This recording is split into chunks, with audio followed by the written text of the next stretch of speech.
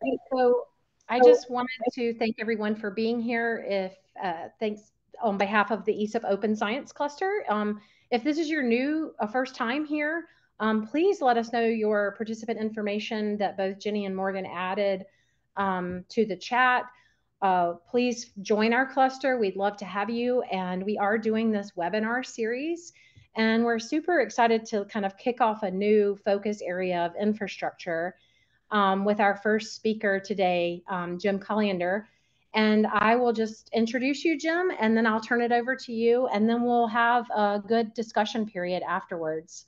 Um, so again, thank you all for being here. Anything else you want to add, Jenny, before I introduce Jim? No, uh, but thank you from me to uh, Jim. Great. So again, we're very excited to have Jim here. Jim is from 2i2c, and he's going to be talking us about building open source infrastructure for research, education, and local communities. And Jim is one of the co-founders of 2i2c. Um, so super excited to have you here, Jim. He's a professor of mathematics at the University of British Columbia and previously served as the director of the Pacific Institute for the Mathematical Sciences. And while at PIMS and using infrastructure from Compute Canada, he helped create a national scale Jupyter Hub service. He co founded Callysto, a collaboration between PIMS and Cybera. Callysto develops open education resources and training programs for students and teachers in grade 5 through 12 leveraging cloud hosted interactive computing, which is super exciting. Um, he also co founded Crowdmark, an education technology company based in Toronto that provides workflows and AI based improvements to education assessment. And a lot of our, um, a lot of the folks here, Jim, are have probably used 2i2c or interested in using 2i2c um, technology or infrastructure. So again, we're super excited to have you here. And with that, I'll turn it over to you. Thank you very much. Uh, it's a great honor to be here. So, I strongly believe that people working together can do magical things. And I think a through line that runs through many of the highlights that Cynthia nicely highlighted about my career is this idea that maybe there's ways, either using technology or social innovation or just being respectful of one another, that we can bring people together to do magical things. You know and i am inspired by um, being a member of the apollo generation people went to the moon during my lifetime and every time i say that the hair on the back of my neck stands up. But we face incredible challenges because some of the things that we've done together aren't so great for our earth and we need to figure out a way to work together to address those things. So the opportunity to speak to this group uh, sort of the monitors of earth and how monitoring the earth might be able to transform the management of earth as a sustaining resource for life as we know it i think is the challenge of our uh, epoch and this group is at the leading edge of doing that and it's a great opportunity for me to be able to address you today um, so i'm going to give a talk that is a demonstration in part of some of the infrastructure that 2i2c operates so the talk is being delivered from a 2i2c hub. And if I click this little button, it'll look like slides. And I'm going to follow the process of giving this talk in answer to questions that were posed to me in the invitation that uh, came to lead me to uh, be able to speak to you here today. So I'll ask someone, maybe I can do it. Uh, if I highlight this right here and drop it into our Zoom chat, um, that will point to a publicly accessible Jupyter notebook on GitHub that is the contents of my presentation. Uh, some parts of that talk uh, are suppressed because they're codey things that don't need uh, to be shown in the context of the slides. But that way, at least you have the content. So I aim to answer four questions. Um, why did my co-founders and I start 2i2c. What are the benefits to open science uh, uh, from working in the cloud? Uh, what are the challenges from an infrastructure standpoint? And what does the future look like? So let's start with this first question. Uh, what were the conditions that led to the creation of 2i2c? So there's basically three answers to this question. The first was basically a technology readiness level four, I think took place in the context of uh, interactive computing and cloud computing. Uh, so interactive computing was ready at the moment.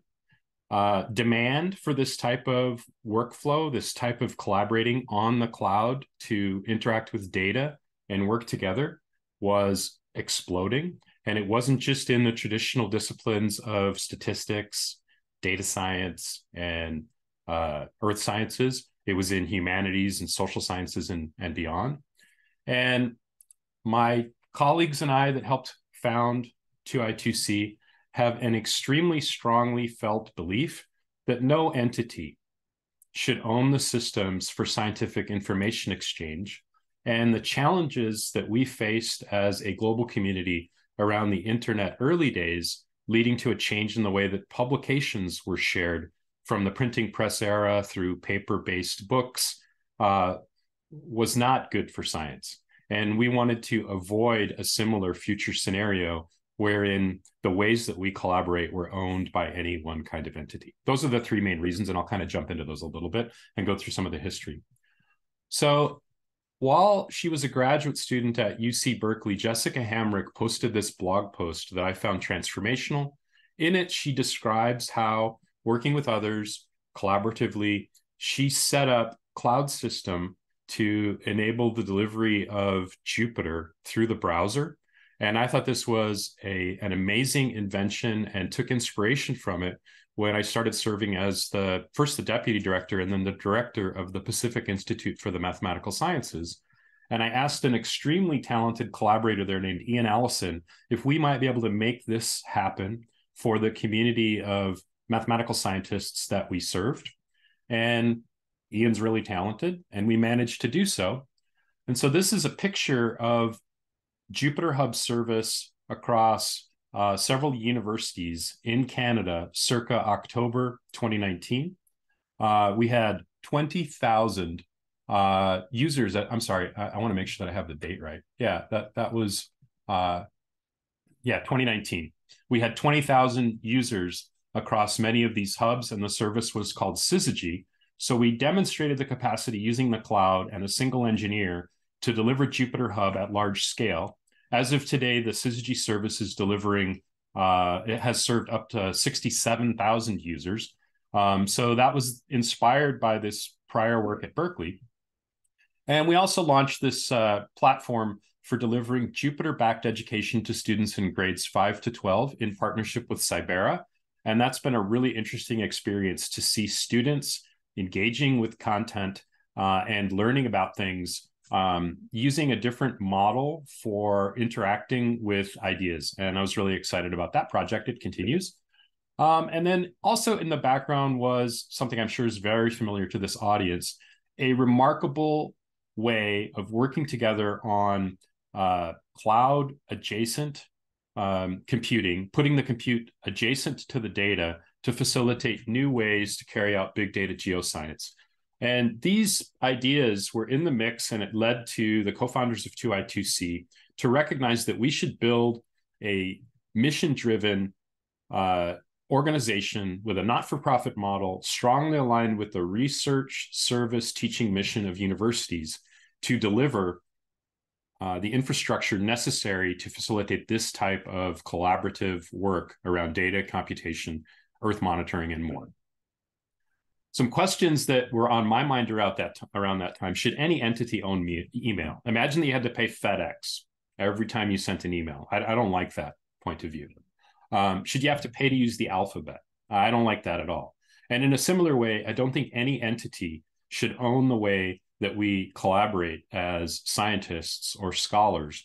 And so I wanted to avoid, I wanted to help avoid a scenario wherein one monopoly provider um, owns the way that we work together and the background around scientific publishing and how we as scientists were producing articles reviewing articles editing articles uh, and then having our libraries get hammered by new methods of business delivery of those articles um, was terrible and i wanted to avoid that type of future state so that's kind of the background no one should own scientific collaboration. And so 2i2c aims to arrange for the scientific collaboration stack to emerge as a digital public good that no one owns.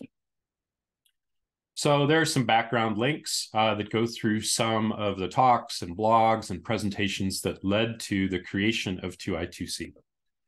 So what is 2i2c? It's the International Interactive Computing Collaboration. It's a fiscally sponsored project of a US 501c3 not for profit organization based in Portland, Oregon called Code for Science and Society.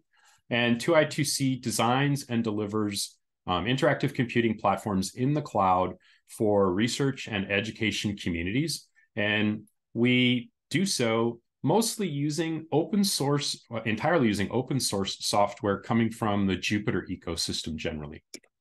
Uh, so a quick service description. Um, we provide these hubs interoperably on either Amazon Web Services, Google Cloud, or Microsoft Azure for a variety of audiences, students, researchers, uh, sometimes folks in government agencies, sometimes emergency responders. And we stitch it together adjacent to the data, and we provide the appropriate kind of level um, to support to make sure that this infrastructure stands up. And adjacent to these types of services, we also offer some support for publishing processes. Uh, 2i2c nominally right now is uh, providing a lot of the support for the MyBinder service. Uh, and our uh, our director Chris Holdgraf is one of the leaders of the Executable Books project that has helped to develop Jupyter Book, and that's just a quick overview of kind of the 2i2c hub service. I think 2i2c innovated something really interesting in the open source infrastructure world, which is this concept called the right to replicate. So 2i2c promises to deliver this infrastructure in a manner that is vendor agnostic. So if you have a community that's running on Google Cloud using 2i2c and you decide that for some reason you want to switch over to run instead on Amazon Web Services, then 2i2c promises that the infrastructure is interoperable that way and that the infrastructure is described in a publicly visible way so that if you want to, you can go and run the infrastructure uh, by yourself your way. Our goal with this is to ensure that the technology and expertise for managing the scientific collaboration stack is dispersed and diffused into the world at large. No one should have expertise. This is an anti moat strategy, no secret sauce. The secret sauce for 2i2c is that there should be no secrets in the sauce that underpins the way we work together as scientists. Uh, and following that link, if you wish, provides a bit of an overview of hub features, but in the interest of time, I'm not going to explore that more deeply. So next question that was posed to me in the invitation, what are the benefits to open science that arise from working in the cloud? And I think there's kind of three main reasons, and I'll go into these in a little bit. The cloud provides new ways to exchange information. The cloud and sensor systems, sometimes on satellites, sometimes on floats in the ocean, essentially provide virtual ubiquity, uh, you know, limited by the speed of light. But we can essentially be everywhere at once. And these two tools together enable a massive expansion in participation in science and scholarship more generally. And in this way, I think the cloud is a new medium through which we can do science differently. And it's creating the technological opportunity to create this future that we're calling openness in science. So let me back up a little bit. What is science? So, science is really a social activity. science is a social science. It's a systematic social enterprise that builds and organizes our understanding of the universe with testable explanations and predictions. And the activity that we are all engaged in when we do science, whether or not we're teaching our students or speaking with our collaborators or sharing a draft with a collaborator or reviewing someone else's work or editing someone else's work or writing a proposal or reviewing a proposal. The core activity of science is the exchange of information so that we develop this human understanding of the universe.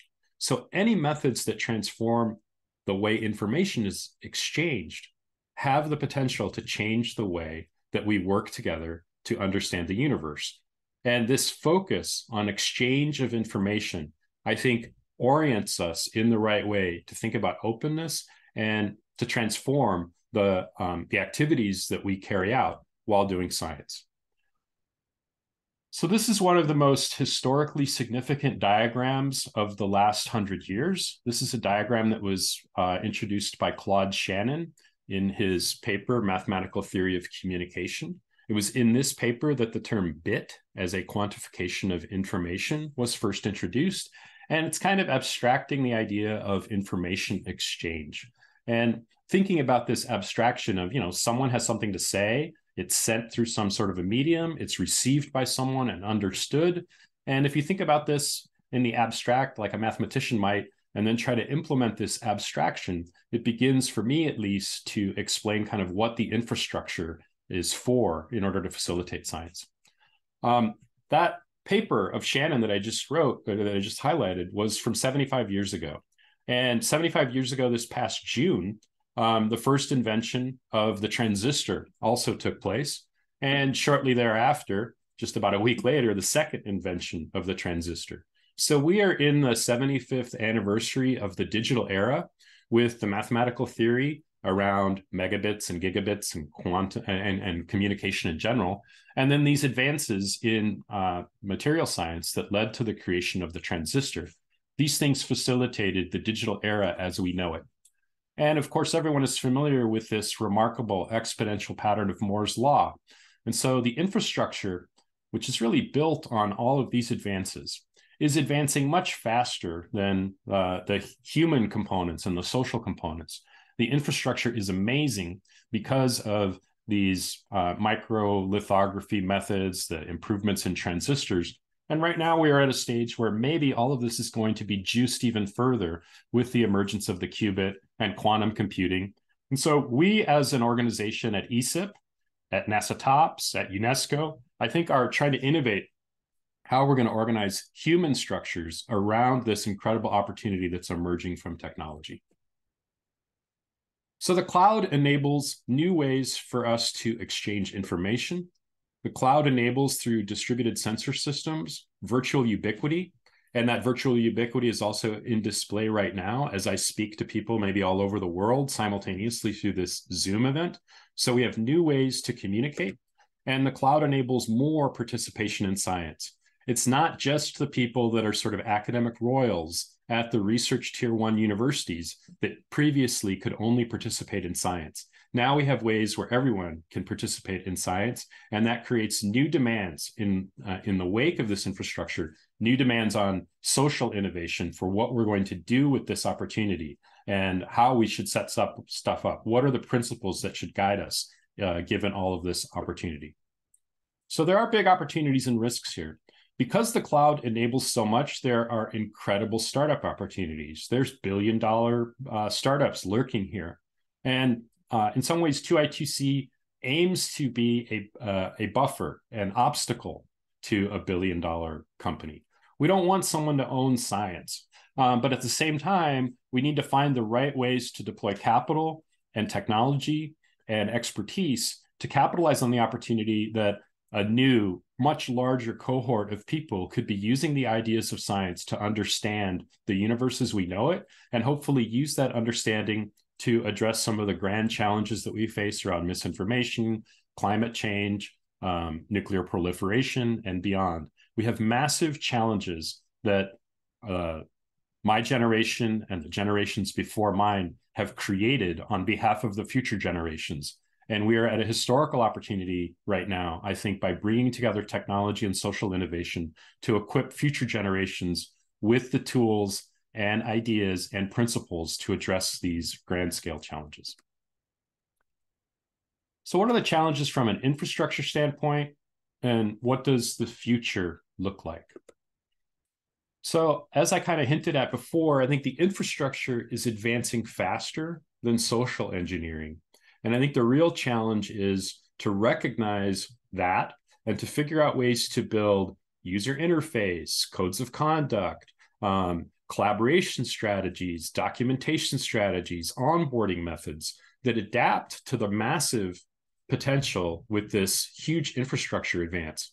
But the goal of science is really to improve human understanding. And so the focus should be more on how to make the humans capable and prepared to benefit from the infrastructure. And I think we should be a little bit slower in trying to push the infrastructure to infinity for the people that really know how to do it. We need to bring more people into the infrastructure.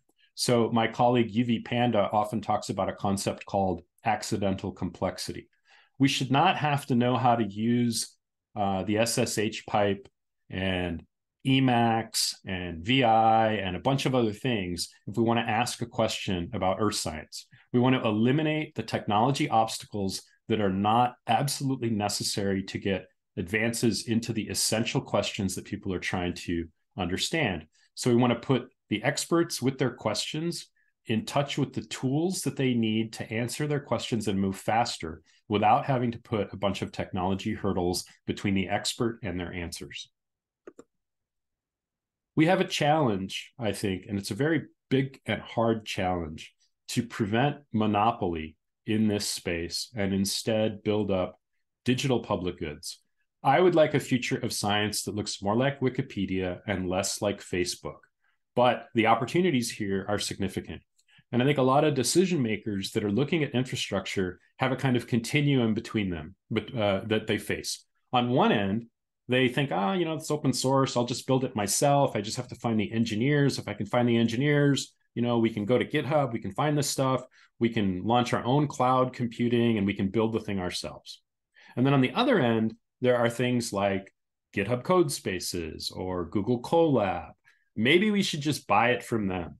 And 2i2c aims to kind of be in between, where some of the just turn it on and it works best experience parts of things that the monopoly provides are blended with some of that customizability and homespun potential of build it your own. But if we don't find a way to kind of take care of the build desire with the appropriate scalable robust engineering practices that comes from the other side then i think we're going to slide towards monopoly and so we need ways to protect science against the emergence of monopoly and create digital public goods that provide scientific collaboration. And that's kind of, I think, part of the mission of 2i2c. But we need a lot more partners in doing this because one small not for profit is not going to win in this kind of a battle against the monopolistic forces. Right now, I think also in infrastructure, we are struggling with skeuomorphism. So here is a telephone, but you'll notice that because people who used the telephone prior to the invention of push buttons did so with a rotary thing. And so you see here how the buttons are set up to mimic the rotary phone. I think right now we have a similar sort of skeuomorphism that is taking place in uh, our transition. So we talk about papers on the internet because we haven't quite figured out what the new form of an academic uh, dynamic science object with data and tools looks like. So I think we're in a bit of a transition from the past where data was siloed. And then 2012 was the era of open data. And now I think the future is uh, one involving discoverable data with the companion tools. So anyone can find the data easily. And we also know what tools are necessary to get insights, visualizations, and uh, advanced human understanding. Um, in the past, we had paper uh, locked in journals in libraries that were only accessible if you happen to have an identification card that allowed you to go into that library. And then it began to be a little bit more accessible with so called papers on the internet. But papers are often kind of an advertisement for the science that's really going inside of the creation of that story. So, are there ways that we can make the science more accessible, more visible, more dynamic and allow others to participate in the discovery and kind of see how a scientist or a group of scientists work together with questions and data and tools and laboratory equipment and other things. So we have a way to mobilize the knowledge of science that goes beyond the traditional scholarly publication. We also have a past where uh, participation in science often required affiliation at an elite university and we've seen in recent times a transition through massive open online courses and other ways with Zoom, for example, where people begin to be able to participate somewhat in science more so. But I think the future involves uh, something that is much more um, duty bound. I think we need to start thinking about a human right to participate in science in the same way that it's necessary for successful democracies to have citizens be able to read. And therefore, it's incumbent upon governments to ensure that we have systems in place to develop literacy. The future is going to involve an expanded notion of literacy. And we see the challenges right now around misinformation. We need critical thinking, the uh, understanding of data and the tools necessary to get insights for data around data. And this human right to participate in science, I think, is going to emerge as a requirement for effective democracies. Um, but right now, we are far behind that. Instead, we are, you know, involved in persuasive tech and manipulation. Uh, a lot of things that these monopoly providers are doing. Um, they may change our consumer behavior, but we need to be able to change our decision behavior and the way that we work together in society around data. So maybe I'll just wind down with uh, some other observations about this transition from past to the future. So for me, there are two remarkable heroes of my training, my experience, my development as a scientist that I think are just incredible human beings. But the ways that we celebrate them, the sort of hagiography around these heroes, is very individual principal investigator rather than team. They invented things that were transformational around many other people and so forth. But you know, here's a hero of mine from the past, Claude Shannon, the inventor of information theory, the progenitor in many ways of artificial intelligence. Um, so, you know, he developed the mathematical theory that allowed for telecommunication and eventually the internet. Um, he quantified the bit. I uh, I think he's a hero. But the way that he is celebrated is very personal focused rather than team focused. Another hero of mine is Richard Feynman, who I think is an amazing teacher. He made available all of these incredible uh, books that allow one to learn physics. But there is also, you know, considerable sexism in the way that he operated.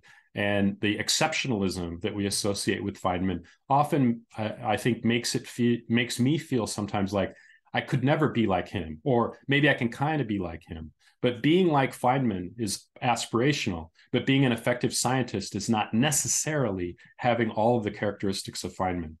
And we're in the midst of a transition. So there are emerging heroes, at least for me, that are changing the way that I view science and think about what it means to be a contributor to the human understanding of the universe. And so one of my new heroes is Jane Goodall, who worked uh, to understand chimpanzees in the Gombe, but then through that work, expanded her participation in what we might call science or an understanding of the universe by creating lots of activism and defending the earth, defending the regions around the Gombe and then beyond. And through this work, she has created, you know, a global network of young people that are thinking about the earth in a much more sensitive, sustainable, and transformational way. Another hero of mine, I'm sorry this is cut off in the way that my slides are set. Uh, maybe I can shrink it a little bit. Uh, as OSTP director Arati Prabhakar. Uh, so she has brought together all of the federal agencies um, around this open science initiative. And I think she is setting the stage in a manner kind of similar to what Vannevar Bush did in the post World War II era to really transform the way that we think about science. And another hero of mine is Chelle Gentemann, who's leading NASA TOPS. She is also bringing together people in remarkable new ways to think about a new imagined era of science and maybe less i'll end on who are the heroes of the future. So i would like to imagine that some of the people in my audience are heroes of the future that are going to find ways to use science to improve the world to manage the world to understand the human relationship towards a sustainable earth. And if i could sort of abstract what a hero scientist of the future looks like for me it's kind of like the lorax.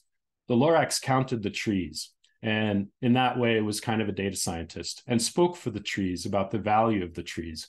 But i'd like us all to sort of think about our relationship to our scholarship and the impact of our scholarship in improving the human understanding of the universe. And that means that our students our children our grandparents all understand the world a better way because of the ways that we contribute to it. And that sensitive understanding of our little part of the understanding of the universe, our sharing of that, I think is the way that we as a civilization can transform and improve and protect our earth. Infrastructure is part of this. It's the way through which these communications take place. but it's really about values and the way that we move those values into our relationships that I think is the transformation. Thank you.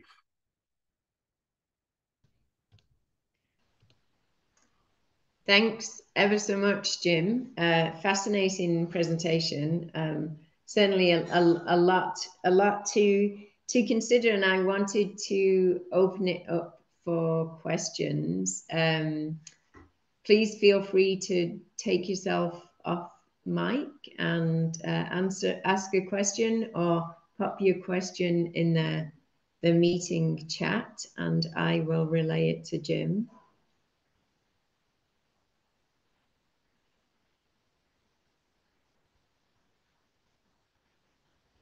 Well, I will kick it off, Jim. I was wondering if you if you feel that your thinking has um, kind of changed or evolved with regard to infrastructure in the in the last maybe two to three years um, with regard to kind of monopoly providers, misinformation, etc. Absolutely. So uh, I'll tell you a story. So when uh, the when 2i2c was just an idea, uh, my colleague Yuvi Panda, uh, I think it's fair to say, insisted that the only way he would participate in this organization was if we supported the right to replicate. And my early approach to 2i2c was much more informed from a for profit, venture backed startup perspective. And I was worried we don't have a competitive advantage. We need a moat. We need a way to defend our tech in order to build something that is sustainable. And Yuvi said, Well, I don't want to do it then. And so I embraced this idea of the right to replicate with considerable caution. And then I brought the story of 2i2c to folks in universities that were thinking about using Jupyter for education and to principal investigators and grant holders who were thinking about using Jupyter Hub for their research. And I explained we are delivering this service with this right to replicate. And the reaction from those folks was striking. The reaction was, oh, you're different. You're not just trying to harvest money, you're offering a business continuity plan that is different from escrowed code you're just making the code public and you're promising to make the code interoperable. You're creating conditions for us to use the cloud interoperably across the three main vendors. And so the reaction was that the relationships that I was trying to forge with these folks uh, was kind of on my initial interaction was vendor customer. But because of the right to replicate, the relationship transformed into nonprofit partner and nonprofit university or nonprofit partner in 2i2c and nonprofit uh, you know nsf funded principal investigator. And so this right to replicate massively changed the conversation with folks that were potentially going to provide revenue back to 2i2c and then after i saw that reaction it massively influenced my own thinking about this um, and that partly is why I went into thinking about the history of the Bell system and so forth. So right after the transistor was invented, in part so that AT&T could maintain their monopoly, AT&T open sourced for the first time really. The patent was made available.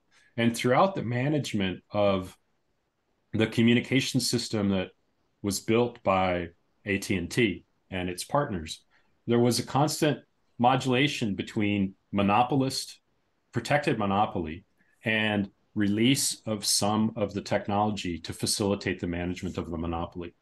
And part of the argument there goes back to the early 1900s by the CEO of the Bell system, at that time was Theodore Vail.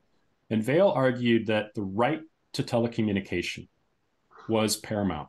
We had to be able to communicate. You had to be able to call your sister if she was in trouble. And in order to facilitate the right to participate, Vail argued with governments that we needed a massive investment in technology to make that possible. And the only way we'd get that technology built is if we had enough investment coming through a monopoly. And that worked for the Bell system for, you know, 80 some years. Um, so my transformed thinking about infrastructure is that we have to place it on principles like the right to communicate or the right to participate in science. And then we have to figure out the right business structures and the right principles that enable these fundamental rights like participating in science. So, infrastructure as a means of achieving human transformation uh, was inspired by my experience with this right to replicate. You might be asking the question for a more technological point of view, and I can also provide comments there. But um, I think that's for me the the, the high the high takeaway. Thanks, Jim. And um, let me see. So a question in the chat. Is 2I2C being actively used by individual research projects now? Uh, how do they publish their work and is there a catalog? Yes. So let me, uh, I'm going to find a link real quick, Cryo, CryoCloud. So here's, I think, a showcase example of a community that 2I2C is serving. Uh, so the CryoCloud community um, is funded in part from NASA TOPS and from funding from the ICESat-2 team at NASA. This group of people seeks to understand the ice on Earth, the Earth's cryosphere. So they are using a 2I2C Jupyter Hub uh, with the compute adjacent to NASA's ICESat-2 data on Amazon Web Services. They are publishing Jupyter notebooks uh, freely accessible on GitHub and also making those visible through their uh, CryoCloud. Maybe I can do it a slightly different way. Um, so this would give you access to their hub. So if I click there and I had credentials, I could log into their hub. Uh, but this over here is providing information about the community, but then also developing tutorials and reports on, for example, uh, here is a Jupyter notebook rendered in this documentation site.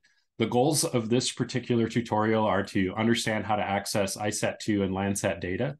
And then it goes through an entire process of explaining how to study this, uh, uh, this aspect of the Earth system in a very um, technically rich, precise, code based way.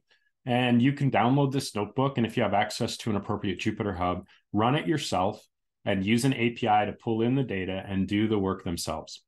Um, 2i2c also supports sharing of some of these data rich uh, objects through the MyBinder service. Um, 2i2c is not MyBinder, but we help uh, operate MyBinder.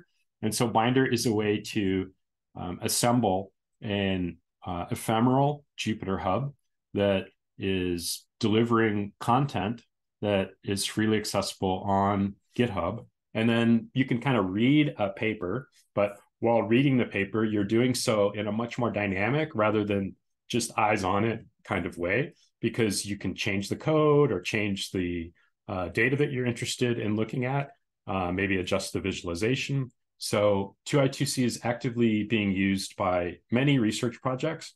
Another example is we are supporting the Alabama Water Institute's um, co- collaborative, collaborative Institute for Research to Operations in Hydrology, which is called CIROH. So CIROH is a multi-stakeholder community consisting of traditional academics, you know, hydrologists, but also people that are interested in hydroelectric power or the use of hydroelectric resources for agriculture. So, how do we understand and manage North America's hydrological resources? So, that is a multi stakeholder question. And 2i2c is supporting that community with a Jupyter Hub. And the community, with their expertise, is finding ways to integrate the data and storytelling and training to bring it all together. So, there's a few examples um, in answer to Elizabeth's question.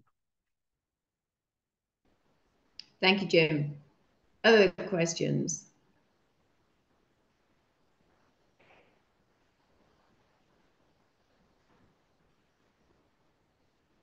Okay, well, I have a, a slightly different uh, question.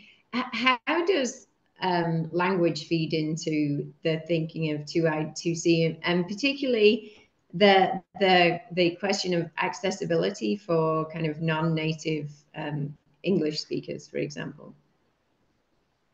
Yeah, um, that's a good question. So, um, with funding from the Chan Zuckerberg Initiative, 2I2C launched a project with a collection of partners. And uh, one of my colleagues, I think, is online named James Munroe, who is helping to guide this project.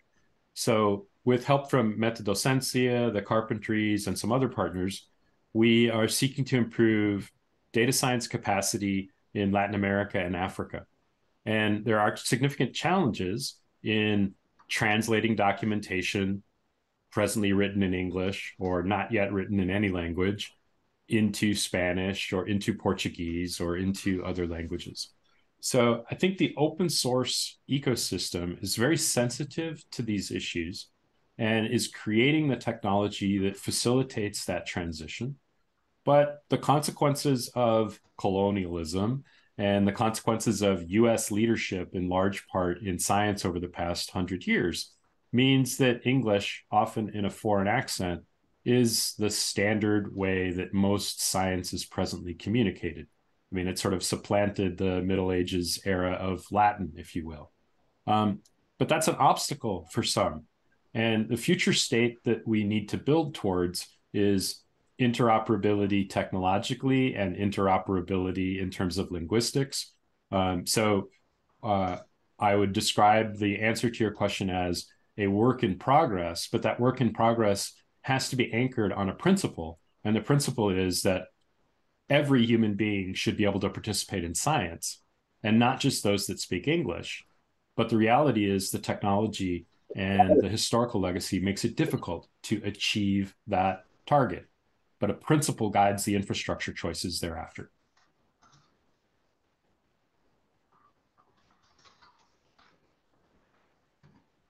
I see James shared a link. Thank you, James. James, do you have any other comments on the answer to that question? Maybe you want to jump in. I'm not sure if I hit the mark.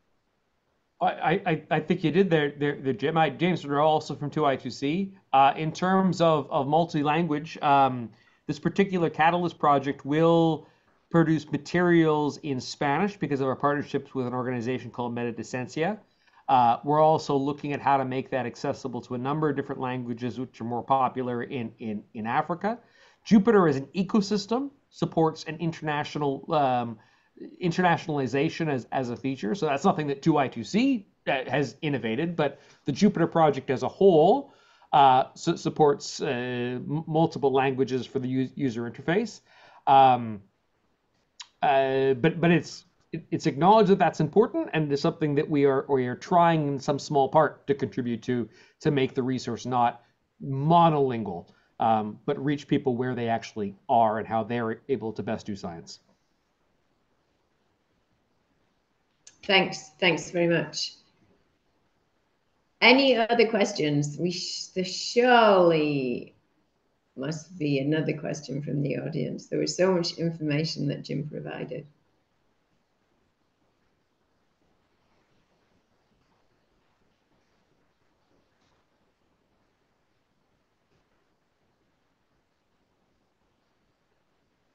Okay. Well, I uh, very much appreciate um, the presentation today, Jim. So much, uh, so much information, and um, you know, so so it seems so innovative uh, in so many regards. Um, and with that, uh, I think have I missed any final comments, Cindy? I don't think so, and I'll also ditto what you said, um, Jim. It's always great to hear you present, and I love your incorporation of the human aspect into everything that you do. And so I appreciate you being being here.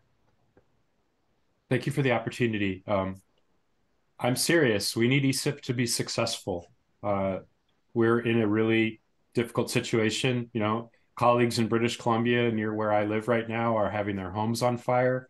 So you know we're we're all the Lorax And I hope that the ESIP community helps bring us together to figure out a way to uh, be sustained as humans on Earth in a pain free way. So thank you for the opportunity to speak with you all. I'm inspired by your work.